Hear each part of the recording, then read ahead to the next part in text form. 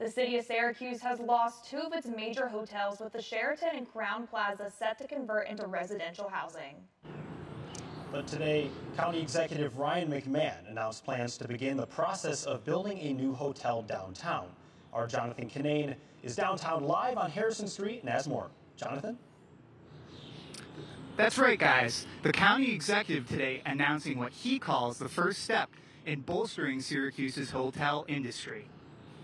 The one area where we are behind the ball and everyone agrees on is the fact that we do not have enough hotel inventory. The loss of nearly 500 hotel rooms in the past few months hasn't done anything to help that. But today, the county executive announced a plan to bring a hotel to this county owned parking lot on Harrison Street to help combat the problem. We need rooms, we need them now. So, in partnership with the legislature, I'm going to be sending legislation to them, creating a hotel initiative.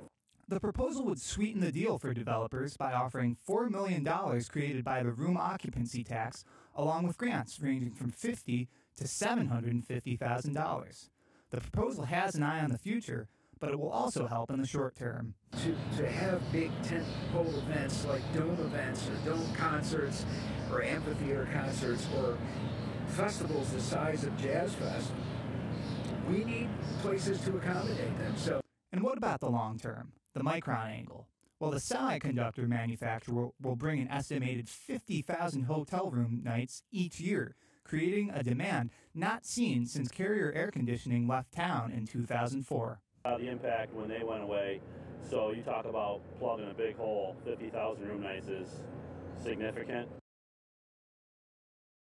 Yeah, guys, and the site is actually right behind me here. Uh, the county executive said he hopes for the hotel to hold about 200 rooms, and in the short term, they want to make Syracuse competitive when it comes to things like hosting conventions even NCAA tournament games. The city tried and they tried to bid, but failed on a, on a recent NCAA tournament. Um, but definitely exciting times ahead in the city of Syracuse. Reporting live, Jonathan Kinane. Back to you guys in the studio.